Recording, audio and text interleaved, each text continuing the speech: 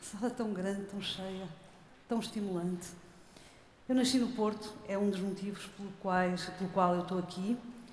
E, e realmente a história que eu trago é, é um cruzamento de histórias de família e que, de certa forma, também vem um bocadinho cruzar-se com tudo isto que nós temos estado hoje aqui a ouvir e a partilhar. Eu nasci no Porto, como disse, e tive o privilégio de viver no meio de pessoas que adoravam ler, que adoravam livros. O meu avô tinha uma tipografia na Praça da Batalha, chamava-se a Tipografia Porto Médico, onde se editava, os mais velhos devem ter ouvido falar, entre outras coisas, a revista Brutéria, que foi de, que marcou alguma marcou a cultura portuguesa. Mas além disso também tínhamos outras histórias, que eram aquelas histórias que nos contavam um bocado às escondidas e normalmente com uma advertência que era assim: vocês não podem dizer a ninguém que eu estou a contar isto. E então, eram dois tipos de histórias, que eram as histórias escandalosas e as histórias de terror. Eu cresci, até aos 12 anos, quando fui para a África, a ouvir um bocadinho às escondidas dessas histórias, daquelas pessoas que trabalhavam na família há muitos anos e faziam essa, essa colheita oral. E hum, as histórias escandalosas a gente gostava porque eram um bocadinho proibidas, mas não percebíamos grande coisa. As histórias de terror percebíamos tudo, perdíamos o sono, porque tinham fantasmas, tinham almas do outro mundo, tinham aparições, tinham premonições, espelho. Era realmente fantástico. Infelizmente, quando voltei, as pessoas que me poderiam confirmar se de facto essas histórias eram verdadeiras ou não, não estavam cá. E hum, houve aqui alguma perca da minha geografia de infância. E, hum, e fiz, tentei fazer várias vezes o refazer do caminho mas de facto mantive esta, esta, esta memória. E quando comecei a pensar no tema que deveria trazer aqui, só me vinha à cabeça uma história que tem um bocadinho disso, é um bocado escandalosa e é uma história um bocado mágica e é uma história antiga, bastante antiga, antes de Portugal ser, ser Portugal, mas que me apetece quase contar assim, vocês não digam a ninguém que eu vos contei isto, porque é uma história, chama-se A Lenda de Gaia, e e começando já por ela, e depois uh, fiz uma grande reflexão pelo motivo pelo, pelo, que, que, me trouxe aqui a, a contá-la, que mete um rei, um rei moro, ali em Gaia, tinha um palácio, um castelo, e o território dele ia de Gaia até hum, Santarém. Os mouros tiveram oito séculos na península. Depois havia um rei cristão, que era um rei de Navarra e que tinha territórios entre uh, o Douro e Minho. Eles estavam sempre em guerra. Sempre, sempre, sempre, sempre, sempre.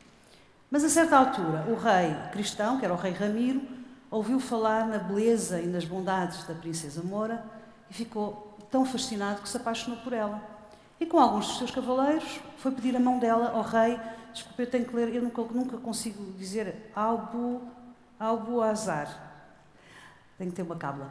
E foi pedir-lhe a mão. E o rei disse-lhe nem pensar, o rei Moura disse nem pensar, ela é, tu és casado, da tua religião não te permite isso, e, e a minha irmã vai, está destinada ao outro, outro marido.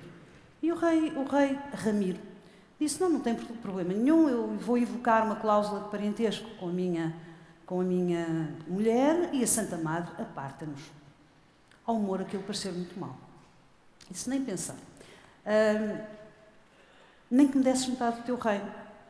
Aí aparece um judeu. Bem, e o rei veio triste a pensar o que é que havia de fazer, veio para os seus barcos em Gaia e há um judeu que aparece. E o judeu era, aparece, não ia, era o seu conselheiro, era mágico, era cabalista, e por artes mágicas tira a princesa do palácio e mete a princesa nos navios. Claro que houve uma grande guerra, morreu muita gente, mas o navio com a princesa e com o rei Ramiro chegou a Bom Porto, em Navarra, onde ela foi cristianizada, batizada e o rei Ramiro casou com ela. O rei Albuazar Entretanto, vai às terras entre Douro e Minho, captura a rainha, uh, mais os seus filhos, os seus filhos, mais a sua pequena corte, e leva aqui para Gaia e casa com ela.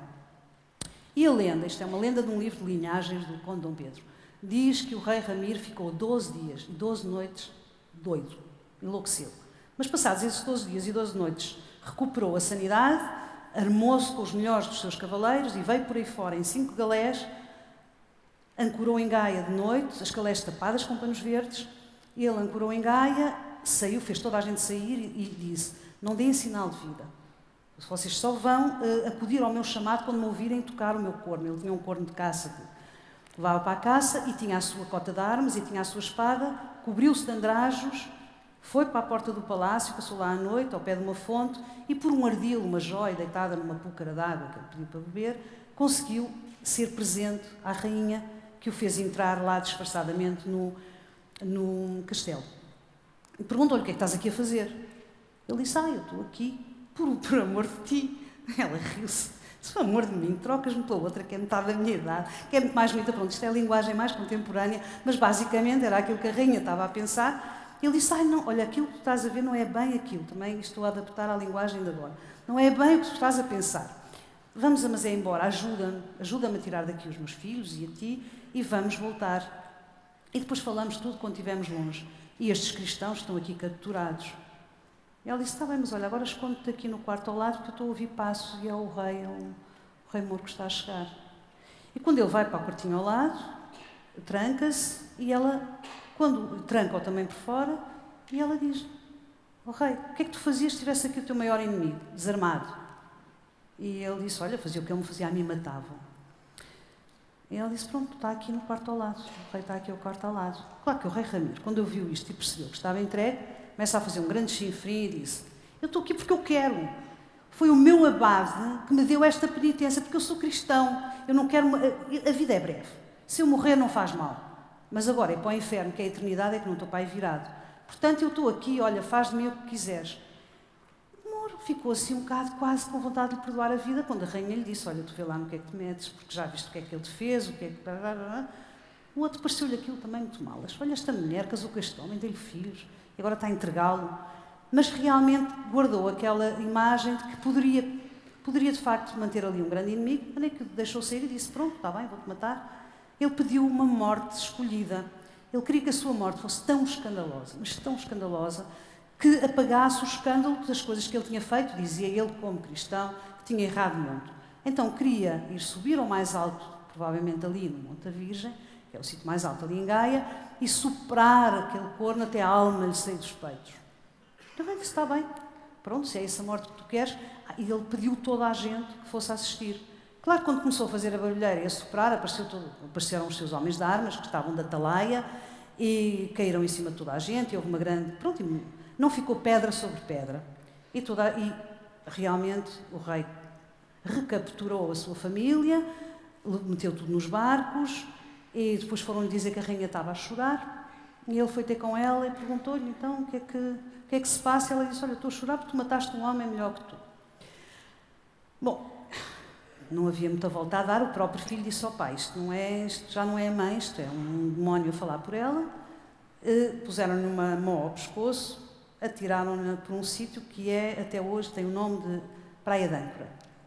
E depois a lenda conta que o rei Ramiro voltou para Navarra e teve uma geração absolutamente exemplar, magnífica, da tal princesa cristianizada que deu grandes homens à nossa parte, porque isto, Portugal ainda não era Portugal, isto é antes da nacionalidade. E, hum, e neles entronca, por exemplo, o, o, fundador do mosteiro de Santo Tirso. E, bom, e agora toda a gente se deve estar a perguntar: mas que raio de história é esta? Moros, cristãos, traições, o que é isto, judeus? Isto é um esqueleto num armário. Eu, quando vi esta história pela primeira vez e quando meditei sobre ela, achei-a quase desconfortável. E quando pensei que, havia, que, que vinha aqui contá-la, pensei, isto é um disparate, porque é que eu vou contar esta história, porque é que eu insisto nisto? Mas depois os esqueletos, eu gosto de esqueletos. Eu acho que os esqueletos são. Uh, os esqueletos são, são limpos, sobrevivem-nos e têm. Uh, é a ordem latente, é a ossatura de um sistema. E nós temos aqui, uh, aqui tudo. Está aqui moros, há cristãos, há judeus. Temos longas histórias todas misturadas. E antes disso também temos outras histórias. Temos histórias de invasões. Nós somos a gente que é feita da espuma das invasões. Mas somos também aquela gente que um dia olhou para o mar e era um mar que não era nada do mar. Hoje temos falado aqui do mar de hoje. Não era nada o mar no século XV, quando nas caravelas os portugueses o afrontaram, Era um mar tenebroso, era um mar cheio de, de, de demónios, era um mar onde ficava, onde o mundo acabava, que fervia na, nas imediações dos, dos trópicos. E, e, apesar de tudo, nós fomos, fomos atrás de um sonho, seguimos. E de mar em mar, de oceano em oceano, num imenso abraço azul, nós transformámos em poucas décadas uma terra plana no globo terrestre. Por sermos como somos. Então, eu acho que nós temos aqui algumas pistas, as pistas das nossas raízes, não é as raízes à superfície, aquelas que nós gostamos, uh, temos as raízes profundas. Se calhar as raízes que nós temos que amar. Nós temos que olhar, se calhar, para aquilo que somos mais profundamente e perdemos o medo de sermos quem somos. Sermos, perdemos o medo da nossa riqueza.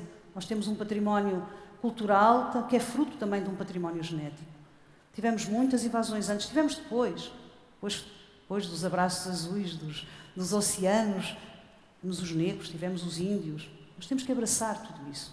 Temos que deixar de ter medo do nosso passado e, e também uh, especularmos demasiado. Nós temos que sentir que temos aqui um ponto de partida.